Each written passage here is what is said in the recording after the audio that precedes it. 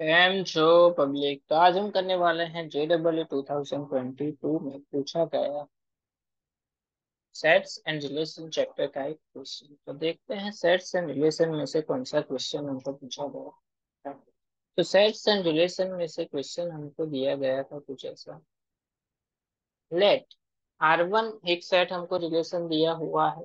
A B belongs to N cross N यानी कि ए and B दोनों की वैल्यू नेचुरल नंबर में से लेनी जहाँ पे इक्वेशन है mod A minus B less than और इक्वल टू थर्टीन एंड दूसरा रिलेशन है R two where A and B belongs to same है एन क्रॉस एन यानी कि नेचुरल नंबर में से एंड बी लेना। जहाँ पे इक्वेशन है हमारे पास mod A minus B not equal to thirteen then on यानी कि आर वन इक्विवेलेंस रिलेशन होगा आर टू होगा, यानी दो दोनों में से कोई भी इक्विवेलेंस रिलेशन नहीं होगा। ये हमको चेक करना है, यानी कि दोनों में से कौन सा रिलेशन इक्विवेलेंस मिलता है, वो हमको चेक करना है। चलिए देखते हैं इक्विवेलेंस रिलेशन के लिए हमको पता होना चाहिए तीन कंडीशन सबसे पहले तो देखते हैं रिफ्लेक्सिव कंडीशन पहली। रिफ्लेक्सिव कंडीशन होती क्या है? कि ए का खुद के साथ ही रिफ्लेक्शन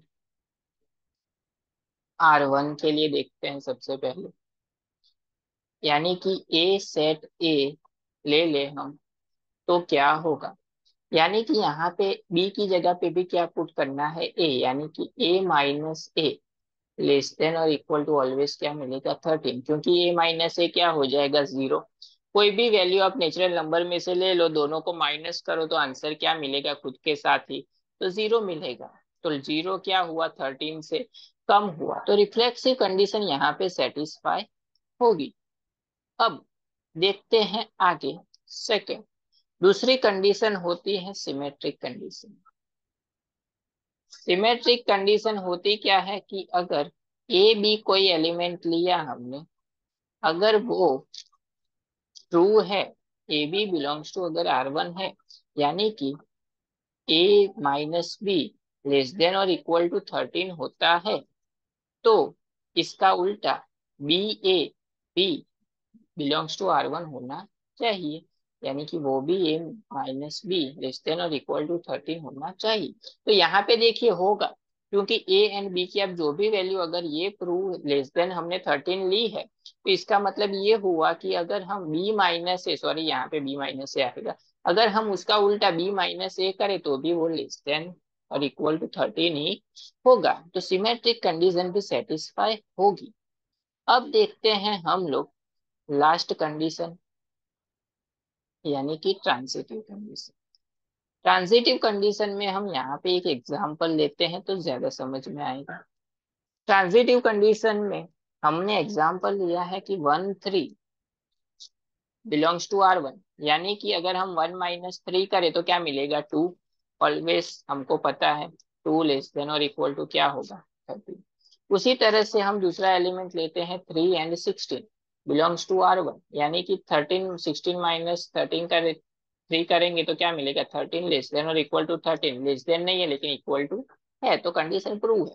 लेकिन ट्रांजिटिव क्या बोलता है कि अगर वन थ्री प्रूव है थ्री सिक्सटीन प्रूव है तो वन सिक्सटीन भी सही होना चाहिए. तो वन सिक्सटीन के लिए क्या होगा?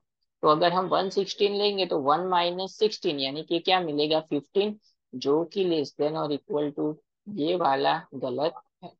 क्योंकि फिफ्टीन थर्टीन से छोटा नहीं है। इसलिए ये ट्रांसिटिव कंडीशन प्रूव नहीं करता। यानी कि आर वन जो रिलेशन है, वो हमारा इक्विवेलेंस रिलेशन नहीं अब देखते हैं हम लोग आगे। आर टू के लिए क्या होता आर टू के लिए हमको क्या मिलता है? यहाँ वो देखते हैं। चलिए, सबसे पहले तो रिफ्लेक्सिव कंडीशन के लिए। कि अगर हम कोई भी नेचुरल नंबर में से दो नंबर ले ले, यानी कि ए ए अगर ए माइनस ए करेंगे तो क्या होगा? ए माइनस ए करेंगे तो नॉट इक्वल टू थर्टीन होगा, क्योंकि ऑलवेज उसका आंसर क्या आएगा? ज़ीरो आएगा। जैसी कंडीशन यहाँ पे थी, वैसी यहाँ पे ज़ीरो आएगा नॉट इक्वल टू थर्टीन यानी कि रिफ्लेक्सिव सही है। उसके बाद second condition symmetric condition symmetric में क्या होता है कि ए बी प्रूव है तो बी ए बी सही होना चाहिए।